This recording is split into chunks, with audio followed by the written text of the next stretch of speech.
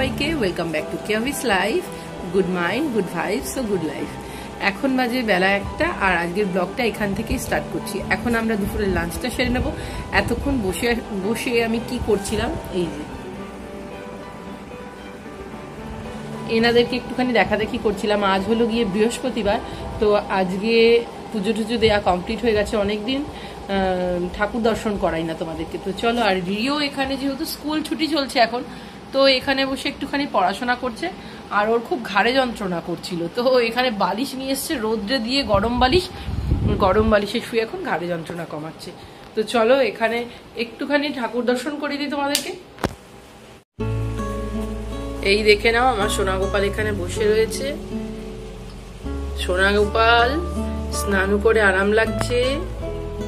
আর একটা সুতির জামা পরিয়ে দিয়েছি। আর এখানে দেখো সুন্দর লাগছে। সবাইকে প্রচুর ফুল দিয়েছি। আজকে গাছ থেকে অনেক ফুল তুলেছি।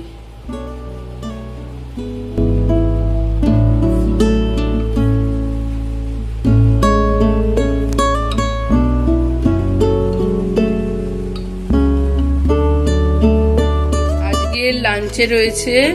এখানে দেখো উচ্ছে দিয়ে ডাল। উচ্ছে দিয়ে তিতর ডাল অনেকেই মটর ডাল দিয়ে করে, কিন্তু আমি মুসুর ডাল দিয়েই করি, কারণ আমাদের মটর ডাল আসেই না মাসকাবাড়ি, আমি আনিই না। এখানে উচ্ছের ডাল হয়েছে। এখানে রয়েছে ভেন্ডির ছেচকি, একটু কালো জিরে ফোড়ন দিয়ে, ওই ভাজা ভাজা ছেচকি টাইপের। আর তার সাথে রয়েছে এখানে এই যে আলু পটল দিয়ে পনির করেছি। আজ আজকের মেনু এইটাই। এখানে রয়েছে গন্ধরাজ লেবুটা।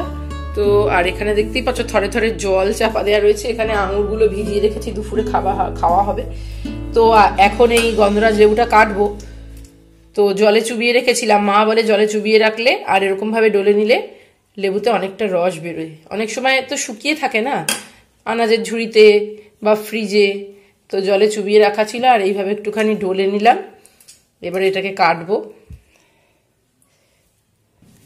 আরও কিছু জিনিসও কাটতে হবে। এখানে এই যে রয়েছে শশা স্যালাড রয়েছে শশা বিট গাজর এগুলোকে কাটবো কেটে নিয়ে খেতে বসবো। তো দেখো বন্ধুরা থালা সাজানো হয়ে গেছে মা ছেলের দুজনের আর আমরা বরাবরই এক বাটিতেই তরকারি নিই দুজনে। তো এরকম ভাবেই সাজিয়েছি। এরকমই লাইট খাওয়া দাওয়ার চেষ্টা করছি এই গরমে যাতে সবাই সুস্থ থাকি। তো চলো খাওয়া স্টার্ট করা যাক। আজকে তোমার ফেভারিট জিনিস হয়েছে তো? কি গো? না, তোমার ফেভারিট খাবার কি এর মধ্যে? হ্যাঁ। চলো, এখন খাওয়া দাওয়াটা স্টার্ট করা যাক, পরে আবারও ব্লগটা কন্টিনিউ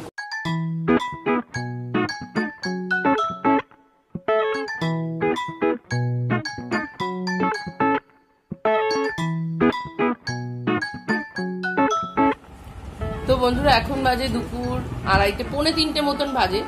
আর এখন আমি এখানে এই যে মাথায় এটা জড়িয়েছি, কারণ পাখাটা জোরে জোরে ঘুরছে। একটু একটু তো সর্দি ভাব আছে। জ্বর একদমই কমে গেছে, আর অ্যালার্জিও একদমই কমে গেছে। ওষুধটা খুব ভালো দিয়েছিল। আর এখানে দেখো, রিওকে পড়াতে বসেছি। ওকে এখন সায়েন্স পড়াচ্ছি। আর এখানে ওর বাবা এসছে, ওর বাবা খেতে বসেছে ওখানে। তো সবাই মিলে এখন এই বারান্দায় রয়েছি। এখানে এখন এই কাজ বাজ হবে পড়াশোনার। তারপরে আবারও আসছি তোমাদের সঙ্গে অনেক কিছু শেয়ার করব। তো আশা করি তোমাদের ব্লগটা আজকে ভালো লাগবে। কন্টিনিউ করো স্কিপ না করে। এখন আপাতত পড়িনি ঝটপট করে। কারণ যখনই আমি পড়াবো না তখনই ওই যে ও ফাঁকি দিচ্ছে বসে। ওকে কোয়েশ্চেন অ্যান্সার দেয়া আছে দাগ কিন্তু ও লিখছে না। এখানে লেখা আছে তো। এখানে লেখা আছে তো বিন্দু আলোক উৎস চেয়ে এখানে দাগ দিয়ে দিয়েছি তো। দাগ দিয়ে দিলেও হবে না আমাকেই পড়াতে হবে। আমাকে কন্টিনিউ দেখতে হবে নইলেই ফাঁকি দেবে। তো চলো ওকে এখন ঝটপট পড়াই তোমরা ব্লগটা কন্টিনিউ করো। তো বন্ধুরা এখানে তো রিওর পড়াশোনা চলছে। এবারে তোমাদের সঙ্গে আজকে একটা পুরনো ভিডিওর ক্লিপ শেয়ার করব, যেটা হলো গোপালের একটা নাইট ড্রেস বানিয়েছিলাম বেশ কিছুদিন আগে। তোমাদের সঙ্গে শেয়ার করেছিলাম ঠিকই, কিন্তু কীভাবে বানালাম ডিটেলসে শেয়ার করা হয়নি।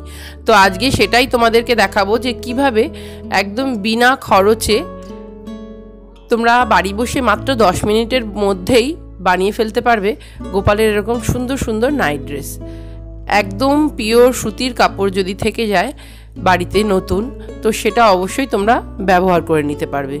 কারণ এটা কমফোর্টেবলও হবে গোপালের জন্য খুব। তো চলো, আর সময় নষ্ট না করে দেখে নাও কীভাবে গোপালের নাইট ড্রেস বানালাম।